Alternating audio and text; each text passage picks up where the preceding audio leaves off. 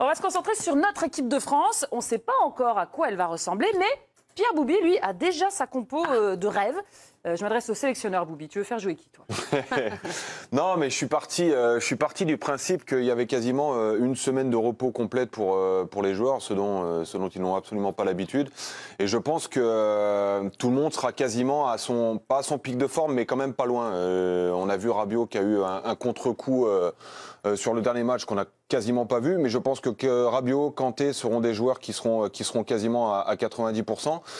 Et moi, j'ai envie de garder un peu le même système qui est le, plus logique pour utiliser la force de, chacun. Je trouve que Barcola apporte ce que aucun, autre joueur apporte, c'est-à-dire de la, percussion sur le côté gauche. Et, euh, et même si Mbappé a tendance à y aller de temps en temps, euh, il a l'intelligence et la faculté pour aller se mettre dans l'axe pour libérer un petit peu la place. Euh, voilà, un 4-3-3 avec la défense habituelle. Je laisse Koundé parce que je trouve que depuis le début de l'Euro, il, est, démérite pas, même si offensivement c'est très limité. Euh, en 1 contre 1 contre, contre, contre Doku qui sera sur son côté, je pense qu'il peut être physiquement peut-être à la euh, de taille pour, euh, pour le contrer. Kanté, parce que les deux premiers matchs, forcément, euh, il est homme du match et il n'y a, il y a rien à redire. Et je pense qu'il a eu un coup de pompe sur le troisième, c'est pour ça qu'il a, qu'il a pas été bon. Et Griezmann, Griezmann, ouais, je pense, parce qu'en fait, il y a une semaine, quasiment une semaine complète. Donc euh, je me dis que là, on est à la cinquième semaine, je crois, depuis, le- depuis qu'ils ont commencé la prépa. Au bout de cinq semaines, tu commences à avoir un corps qui est quand même bien en forme. Donc, euh, donc voilà. Et puis Griezmann, parce qu'il a cruellement manqué sur ce dernier match contre la Pologne en termes de création. Et Ousmane Dembélé, qui, euh, même si euh, il, on- il ressemble plus à un poulet sans tête en ce moment, Pourquoi tu le gardes alors? Parce que c'est un mec qui est capable de faire des différences et d'avoir des fulgurances, même si le dernier geste est toujours, on est toujours frustré par rapport à ça. Attends, je pense le dernier geste, c'est la dernière passe. eh ouais, mais en un contre un, il élimine tout le monde. Donc euh, moi, je veux Donc bien qu'on tu puisse le reprocher. fasse trois mauvais matchs et qu'on le garde. C'est un peu ça qu'il a fait depuis le début de, de la compétition. Mais le problème, c'est qu'il n'y a que lui qui est capable d'éliminer comme ça tout le monde de, de- avec, euh, avec euh, en, en mode effaceur et une gomme. Moi, je, je pense que je, je le laisserai parce que, parce que mine de rien, sur le dernier match, il est déterminant malgré tout. Et ben, pour l'enlever, ça va être compliqué. Et Enfin, Coman, mais penalty, enfin, après, c'est- vraiment, vraiment une compo pour commencer le match. Et c'est pas mon idée de compo de fin de match. Mais par contre, je pense que là, euh, dans, dans, dans Là, on est injouable si chacun est à 100% et si on joue pour poser des problèmes au lieu de- d'essayer de jouer pour pas en avoir. C'est la ce qui- compo ouais. de Pierre Boubi. Séverine, tu le rejoins pas sur le cas d'Embélé? Oui, voilà, moi je l'aurais changé. Après, j'aurais mis sur le banc parce que sinon, quel message tu envoies aussi à la, à la- aux autres joueurs pour euh, aller, aller à la concurrence pardon? vrai, juste pour euh, rajouter sur ce que tu Oui. dis, le message aurait dû être envoyé contre la Pologne. Alors ça, je suis d'accord avec toi. C'est tout. Mais il faut quand même essayer, tu vois. Moi, je mets, euh, après, je sais pas dans quel état il sera par, rapport à son mollet, mais Kingsley comment, moi, je le mettrais, euh, pourquoi pas, on peut tenter. Mais moi, Dembélé, je le mettrais sur le banc parce que ça fait trois matchs qu'il ne répond pas aux attentes, selon moi. En tout cas, que c'est pas assez satisfaisant. Et Barcola, je suis complètement d'accord parce qu'en plus de ça, en face de lui, il aura des voix de face et castagne. Et sincèrement, ce qui est pas très fort. Et voilà. Et je pense que ça, ça, ça, allez, sa, sa capacité de percussion va vraiment faire énormément de mal à la Belgique et à cette défense-là. Et euh, moi, Barcola fois 3000, je, je pense que c'est ce qui fera le plus de mal, pardon, à la Belgique. battre la Belgique dis donc. Non, mais c'est après, je pas- voilà, mais c'est moi Barcola. Non, mais c'est vrai que son défensivement, euh, mais surtout de ce côté-là, en fait, t'as un vote face qui depuis le début qui te fait un cadeau par match, une erreur par match. Bah, c'est de ce côté-là qu'il faut y aller. Enfin voilà. Tu as évoqué la probable titularisation, en tout cas pour toi, hein, de Kingsley Coman. Moi, j'ai de gros doutes sur sa capacité physique à Kingsley Coman de pouvoir être titulaire. Il a été énormément blessé cette saison. De février à fin mars, il avait une fissure au ligament euh, du genou. 50 jours manqués, 9 matchs manqués. Il a fait seulement 3 matchs entre fin mars et mi-avril. Mi-avril, déchirure des adducteurs. 8 matchs manqués. Et puis là, pendant la préparation, ça a été chaotique pour lui. Rhinopharyngite euh, pour euh, euh, Kingsley Coman contre l'Autriche. Torticolis face à la Pologne. Il avait été aussi touché au, au mollet.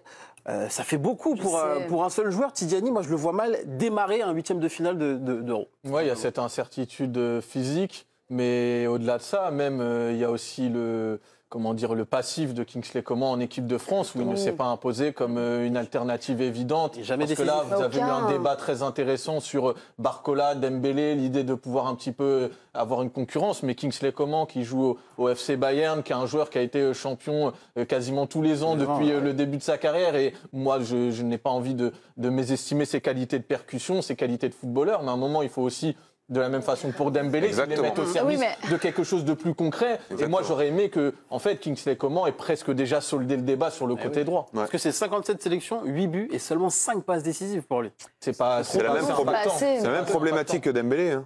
Mais en fait, ce qui me, ce qui me fascine, c'est que tout le temps cette faculté à se dire qu'en fait, à partir du moment où il joue dans l'axe, eh ben, il joue dans l'axe. Il fait ce qu'il veut, Mbappé.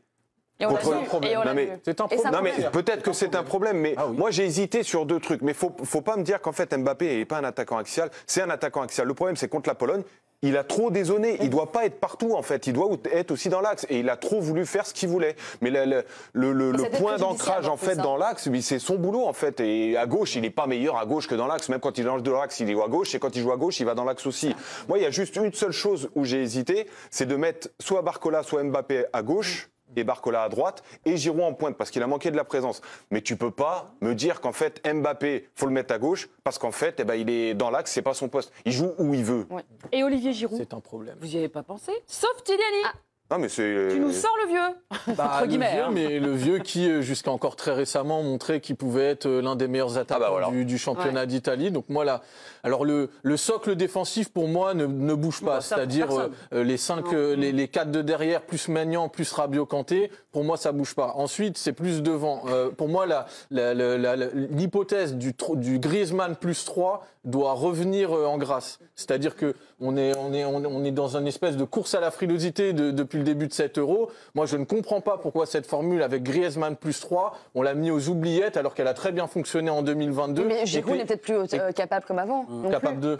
Mais d'être aussi euh, décisif qu'avant, on le voit. Ah bah attends, c'est pas un mec qui fait des courses. je- je- Enfin, dans une Non, surface de réparation, il n'y a pas. Alors moi, je, Peut-être, je- je veux bien qu'on s'arrête deux secondes sur le cas Giroud, mais je trouve que c'est un joueur qui a par le passé bonifié le jeu d'Antoine Griezmann Ça, oui. et qui a bonifie aussi le jeu de Kylian Mbappé dans le sens où il permet à Mbappé d'avoir cette liberté tout en restant ce point d'ancrage dans l'axe qui permet de mobiliser aussi une défense parce que moi euh, Pierrot là où je suis pas d'accord avec toi sur la liberté qu'on devrait accorder à Kylian Mbappé c'est que quand il va faire ses arabesques Ah, mais sur je le dis pas qu'on doit- on doit et lui- que- je dis pas qu'on doit lui et- autoriser, et- hein. et- et- Je dis qu'il l'apprend, oui, mais, pas- oui, mais c'est un problème Ah parce mais que ça, je suis derrière, d'accord, si tu arrives à faire tes différences sur le côté, mais que tu n'as pas le joueur de surface qui est Je capable complètement soit de finaliser les actions, soit de- de- d'occuper la défense, Mais- en fait, l'entrée de Giroud face à la Pologne Quand tout à pas l'heure, j'ai- exceptionnelle. Hein. quand tout à l'heure j'expliquais que moi j'avais une équipe qui commence, une équipe qui finit, moi je finis exactement comme ça.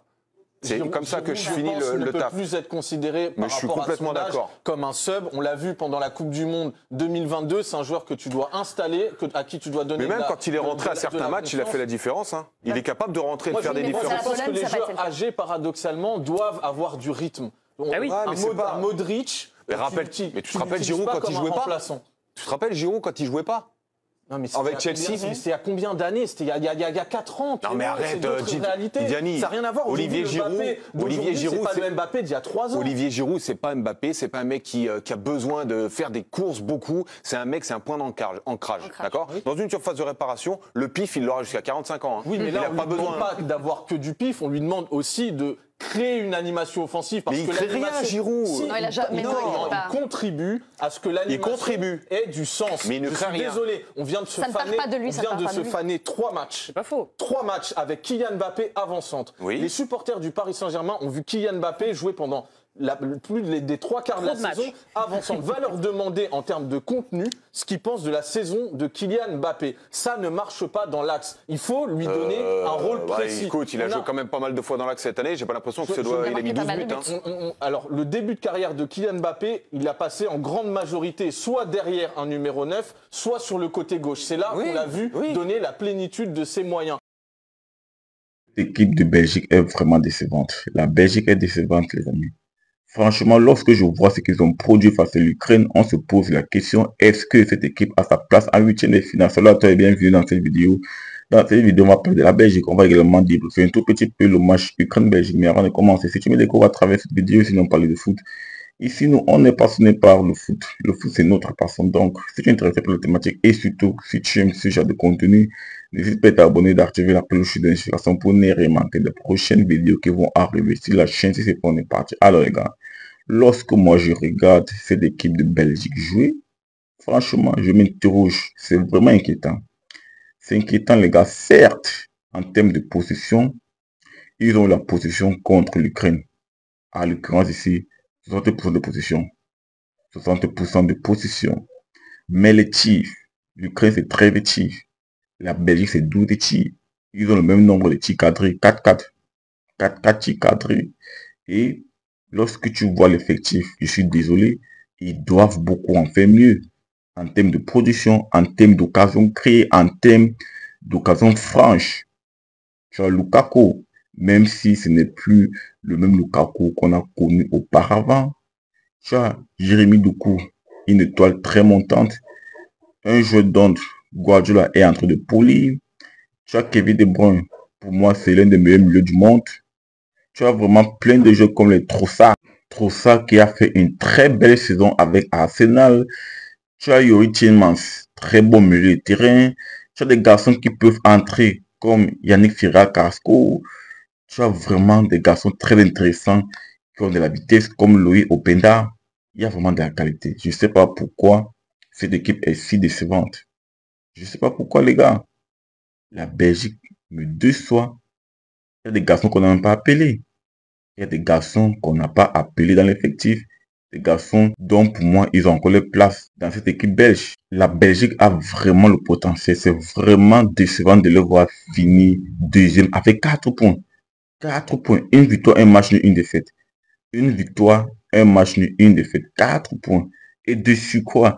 Il y a des équipes comme la Roumanie qui finissent primées devant la Belgique. La Roumanie, ça a manqué de respect à la Roumanie. La Roumanie, les gars, la Roumanie finit primée de la poule devant la Belgique. La Roumanie, c'est incroyable. C'est incroyable. Et la Belgique, à l'instar de l'équipe de France, se met en difficulté puisque même si la Belgique passe l'équipe de France, ils vont tomber sur le Portugal. Ensuite, ils vont tomber sur l'Allemagne ou alors l'Espagne. Bref, ce tableau-là est monstrueux. C'est pour ça qu'il y a un jeu belge qui a dit qu'il ne croit pas trop au sarré final, puisque ce tableau-là est monstrueux. Même si tu passes l'équipe de France, tu auras devant le Portugal, tu auras devant l'Allemagne ou bien l'Espagne. Bref, c'est vraiment très très compliqué les gars. Très, très. Il fallait gagner ton match face à l'Ukraine pouvoir basculer dans l'autre côté du tableau. Il fallait gagner ton match. Tu as préféré te mettre en difficulté. Tu as préféré te mettre en difficulté. Pourtant, pour moi, il y avait de la place. Il y avait largement la place pour faire mieux. Tu es dans une poule composée de la Roumanie, la Slovaquie et l'Ukraine. Et tu finis deuxième avec 4 points. C'est vraiment désolant. C'est désolant, les amis. Après, je pense qu'en même temps, la Belgique est sur le déclin. Puisque ils ont atteint les primes à la Coupe du Monde 2018 avec les Eden Hazard, avec les Vincent Compagnie, avec plein de joueurs. Les Driss Mertens, les Kevin De Bruyne qui est au top, Lukaku qui est au top. Il y avait vraiment de la qualité. Les Alder Viret, il y avait plein de joueurs comme ça qui étaient vraiment au top de leur forme. Moi, je pense qu'en 2018, c'était le pic de la Belgique. S'ils n'ont pas pu remporter une compétition durant cette période-là, pour moi, ce sera très compliqué. Puisque cet effectif de l'Euro 2024, il y a de la qualité, mais je trouve cet effectif un peu en dessous de celle des années précédentes, à l'instar de 2018, où la Belgique était vraiment tout feu, tout flamme, très très forte, avec un Eden Hazard au prime, avec un Kevin De Bruyne au prime, avec plein de joueurs comme ça au prime, comme le Vincent Compagnie et j'en passe. Donc les amis, partage-moi ton ressenti en commentaire par rapport à cela. Est-ce que tu estimes que la Belgique peut se relever, la Belgique peut rebondir, la Belgique peut vraiment montrer des crocs face à l'équipe de France du mois tout et si ce n'est pas encore fait, n'hésite pas à t'abonner, d'activer la cloche d'indication pour ne rien manquer des prochaines vidéos qui vont arriver sur la chaîne. Sinon, c'est déjà très bientôt pour notre vidéo les amis. Ciao, ciao.